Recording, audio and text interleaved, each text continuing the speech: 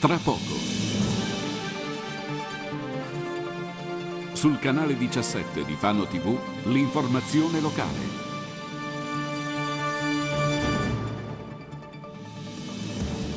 Vendevano bottiglie di olio al tartufo ma senza tartufo, sequestre e sanzioni per oltre 20.000 euro, indagati i produttori. Inaugurato un nuovo padiglione al cimitero di Rosciano di Fano, la presenza del sindaco. A Fano per conoscere i segreti del mare, viaggio di istruzione di una scolaresca di Gubbio. Al via i lavori di riqualificazione della passeggiata di Lisippo sul lungomare, apprezzamenti per i murales degli studenti. Domenica c'è la Colle Marathon, ecco come cambia la viabilità.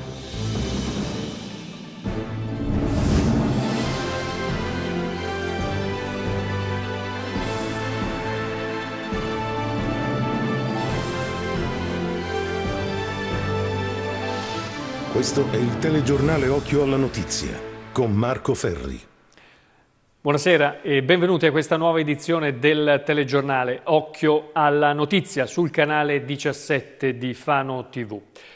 Erano in bella vista in eh, molti scaffali dei supermercati, quelli della grande distribuzione. Si tratta di olio al tartufo ma senza tartufo, ovvero eh, aromatizzato al tartufo e prodotto chimicamente.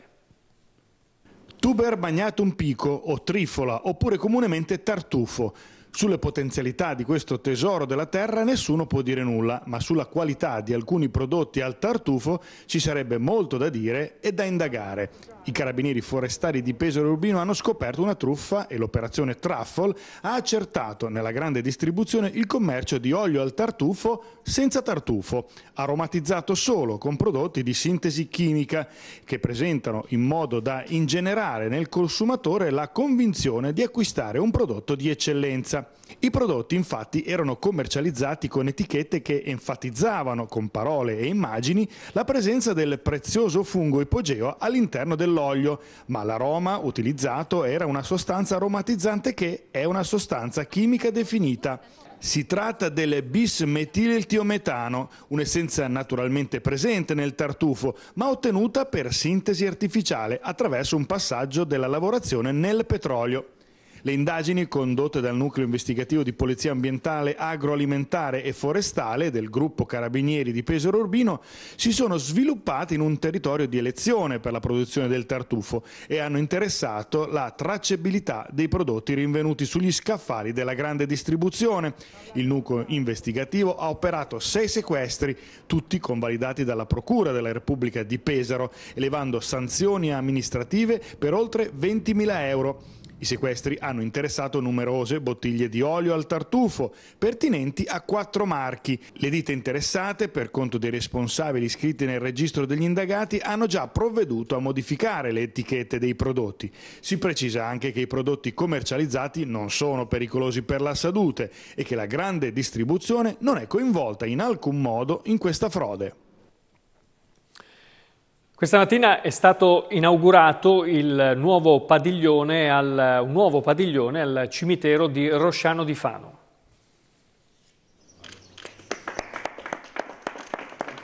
176 loculi e circa 60 ossarietti di varie dimensioni. Si articolerà così il nuovo padiglione del cimitero di Rosciano Bellocchi, che è stato inaugurato stamattina alla presenza del sindaco Seri e dell'assessore ai lavori pubblici Fanesi. La mattinata è iniziata con il tradizionale taglio del nastro e la benedizione da parte del parroco Don Giuliano Marinelli.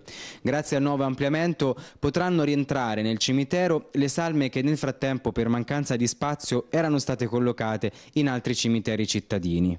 Nel mese di maggio eh, l'ufficio eh, ufficio servizi cimiteriali contatterà tutte le persone che hanno richiesto o che comunque vorranno eh, trasportare le salme momentaneamente eh, diciamo in altri cimiteri in questo e quindi eh, sarà un mese abbastanza intenso eh, per questo tipo di attività. Interventi necessari dunque dovuti anche all'aumento negli ultimi anni della popolazione della prima periferia della città e che permetteranno ai residenti di avere più vicini i propri cari defunti. Nella giunta di ieri abbiamo anche stanziato nuove risorse per il cimitero di Camminate, sulla quale avevamo preso un impegno per il suo ampliamento. Quindi eh, è un programma che guarda ad un bisogno importante per una comunità come la nostra, ma soprattutto lo facciamo anche tenendo conto di non dover sempre rincorrere l'emergenza, ma quella di dare una risposta nell'immediato, ma che abbia anche la capacità eh, di guardare al futuro ed una, ad una funzionalità dei cimiteri del nostro territorio in base a quelle che sono le esigenze. Spirito Santo. C'è stato un tamponamento multiplo oggi pomeriggio, poco dopo le 17, sulla Flaminia, all'altezza di Ponte Murello, vicino Lucrezia. Tre i veicoli coinvolti e nessuna conseguenza fisica per gli occupanti delle auto che, vista la dinamica dell'incidente, hanno deciso poi di compilare il modulo di constatazione amichevole sul posto della Polizia Locale di Fano per dirigere il traffico e coordinare le operazioni di rimozione di uno dei veicoli dopo l'incidente, che dopo l'incidente non era più in grado di marciare. Alunni delle scuole eh, primarie di Gubbio in visita questa mattina a Fano per conoscere i segreti del mare.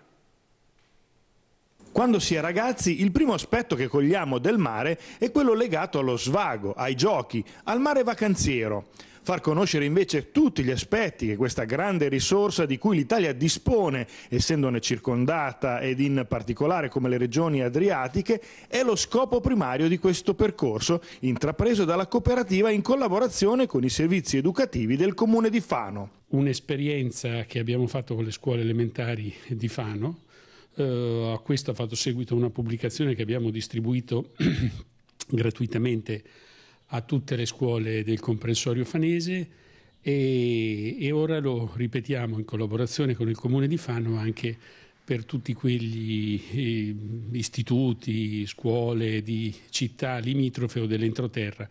Eh, vogliamo far conoscere qual è la realtà produttiva, l'economia del nostro territorio, una delle economie del nostro territorio e in particolare vogliamo eh, valorizzare anche le nostre produzioni. Tutti gli aspetti legati al mare sono stati toccati per far conoscere ai giovani studenti tutte le risorse che il mare mette a disposizione. Quali sono gli aspetti che più colpiscono i bambini, insomma, che, che vengono toccati in queste giornate? Uh, la conoscenza della biologia marina, eh, un, un, tecnico, un giovane che abbiamo così portato dentro la nostra squadra e che collabora con noi, eh, un, un, vecchio pescatore che, che, descrive un po' quelle che le tecniche di pesca di oggi e di allora. Oggi, dopo le passate esperienze con le scuole fanesi, in visita al mondo della marineria sono state le scolaresche della vicina città di Gubbio. E, mm, allora, innanzitutto lo affrontiamo ehm, a livello geografico, perché quando facciamo in prima media eh, l'Italia, logicamente facciamo anche le regioni, anche se non è programma di prima media, ma le riprendiamo per il fatto che alle elementari vengono fatte più velocemente. Però l'aspetto ecologico, fonte di sostentamento, risorsa naturale, questo è un aspetto che tocca? Sì, sì, lo tocchiamo perché facendo l'economia a livello geografico è logico che, che lo facciamo, anche le problematiche dell'inquinamento, cioè, lo, lo tocchiamo e lo analizziamo anche sanno. La passeggiata di Lisippo, quella che si trova eh, nella zona del Sassonia, al mare, nel porto turistico, cambia look e i murales, quello, quello che, i murales che stanno realizzando gli studenti, eh, stanno ottenendo ogni giorno, man mano che quest'opera prosegue, sempre più apprezzamenti.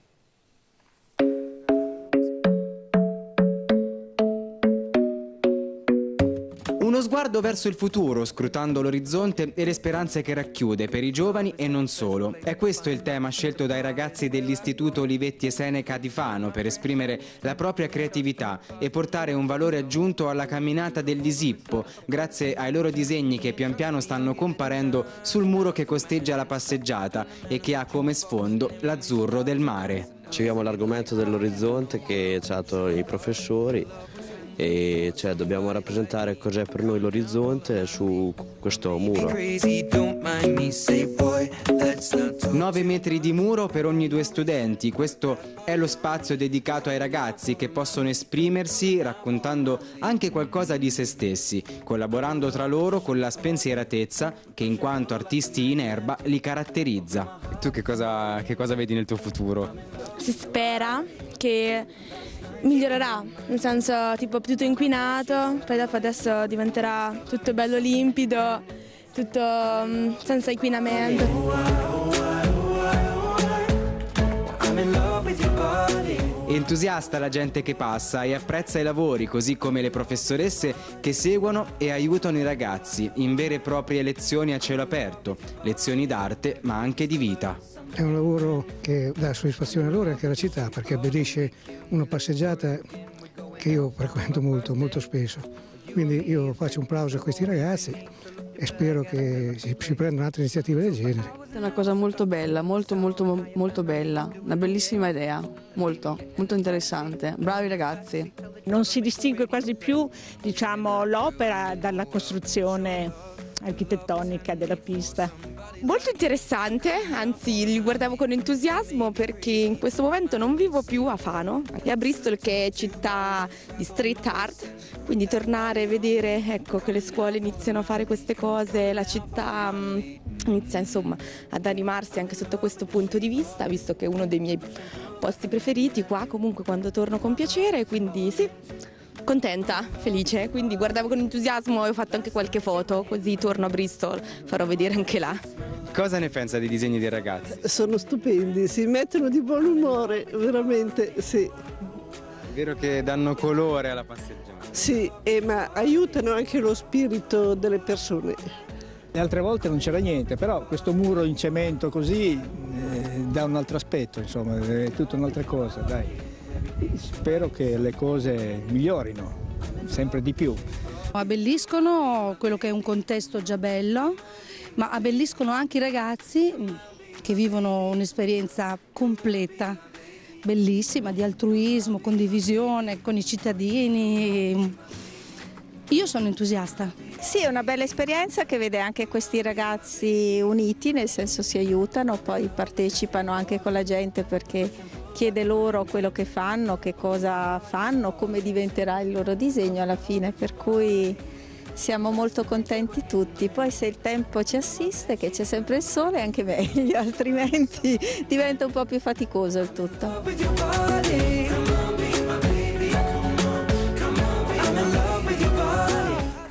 L'importante è mantenere vivi i colori anche nei prossimi, nei prossimi, anni. Allora, sempre rimanendo sulla passeggiata, all'inizio però di questa eh, lunga e bella passeggiata sul mare, la prossima settimana inizieranno i lavori di riqualificazione. È una delle passeggiate a piedi o in bici più belle della nostra città, il lungomare del Lisippo, che ospita anche manifestazioni importanti come la Colle Marathon che si terrà in questo fine settimana. E proprio per questo motivo i cittadini che abitualmente la frequentano vorrebbero che la situazione, soprattutto nella parte d'ingresso della camminata, venga migliorata con arredi urbani e maggiore cura sia della siepe che delle aiuole che la costeggiano. Un po' tutto perché è proprio brutto, eh? così è una un'entrata proprio orribile. Eh. Anche allargarlo un pochino, se no, se no va bene. Un po' più larga è meglio. L'imbocco di questo passaggio era diventato molto ristretto, insomma. E quindi adesso ho visto che in occasione della, della Colle Marathon hanno sistemato. Magari rimettere quei fili dove mancano magari viene un po' meglio, se no bellissima la passeggiata. Quello che riguarda questa splendida passeggiata, soprattutto l'ingresso però, c'è secondo voi da migliorare qualcosa? No, diciamo che abbiamo pazienza, quindi attendiamo con ansia che sia migliorato, no? si può sempre migliorare. Eh, forse là dove ci sono quei ragazzi dove fanno quei lavori, no? dove c'è, c'è, più spazio, magari una panchina si sarebbe bene, perché mica tutti sono ragazzi, uno si può fermare anche per prendere una boccata d'aria no? di mare bisogna che sta sempre in piedi. Ho parlato prima con il sindaco e gli ho detto che doveva mettere delle panchine là verso la fine, proprio per stare seduti, per eh, per stare anche quanto è l'estate. Un impegno quindi a migliorare che il sindaco Seri ha messo già in agenda con interventi che renderanno ancora più bella e suggestiva questa finestra sul nostro mare. E tra poco, dalla prossima settimana, partiranno i lavori per adeguare e migliorare anche la prima parte della passeggiata dove ci saranno sei nuove terrazze che saranno delle aree di sosta, dei bel vedere con delle sedute, quindi ci si potrà anche fermare, che renderanno ancora più piacevole la passeggiata, rendendo più ricco questo scorcio di città che è quello del porto turistico eh, che fiancheggia il, il mare, eh, che è piacevole da fare sia nelle belle giornate ma anche in quelle giornate invernali che danno le sue suggestioni. Quindi questo penso sarà ancora un nuovo biglietto da visita per la nostra città che potrà essere gustato dai fanesi ma anche da chi deciderà di venire a fare le proprie vacanze nella nostra città.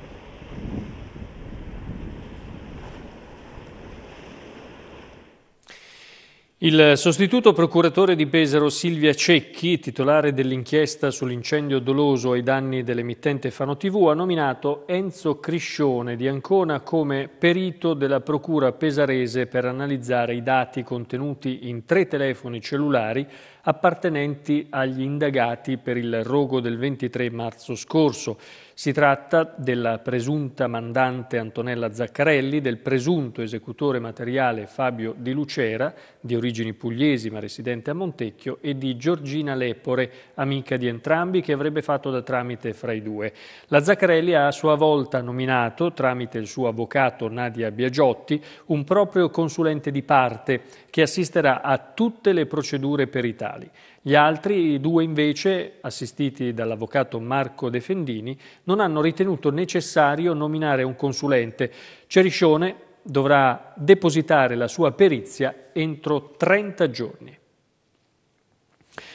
Sabato nelle piazze di Fano e Pesaro lo staff oculistico di Marche Nord propone in collaborazione con Unilit e Croce Rossa Italiana un check-up oculistico. I professionisti di Marche Nord sono disponibili a Pesaro in Piazza del Popolo dalle 9 del mattino alle 13 per la misurazione della pressione intraoculare. Nel pomeriggio si trasferiranno invece a Fano in Piazza 20 settembre dalle 15 alle 20. Il check-up, lo ricordiamo, è gratuito. Tutte le persone che si presenteranno potranno avere un controllo oculistico al fine di prevenire e diagnosticare più velocemente il glaucoma. E dalla tensostruttura del Lido questa mattina è partita una staffetta molto particolare che non ha nulla di eh, atletico agonistico, però ha molto invece di simbolico. Si tratta della staffetta della legalità.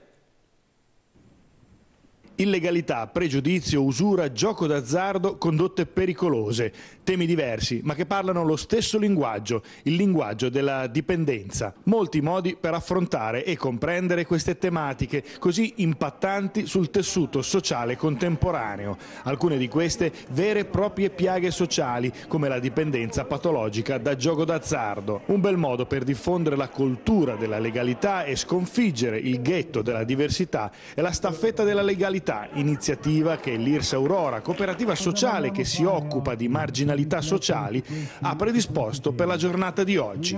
Allora, oggi eh, la, organizziamo la quarta staffetta della legalità all'interno del, eh, della primavera della legalità, un modo per riflettere con i ragazzi su eh, la legalità o l'illegalità, i messaggi a volte negativi sulla quale dobbiamo riflettere che ci arrivano da più parti, sulla mancanza di futuro, sul, sul fatto che vivere in un certo modo nella trasgressione è più interessante, che la diversità è eh, il pericolo. Ecco, su queste cose qua vogliamo riflettere in modo un po' diverso con, eh, con i ragazzi in questa giornata.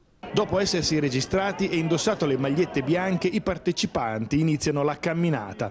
Il testimone è una pergamena che è simbolo di continuità e collettivo. Le tappe della staffetta sono state le cooperative I Talenti, Itaca, Fuori Tempo e Irsa Aurora. In ogni luogo gazebi e presentazioni delle attività. Poi tutti insieme ognuno scriverà sulla propria maglietta bianca il messaggio della staffetta 2017. La diversità è uguale per tutti.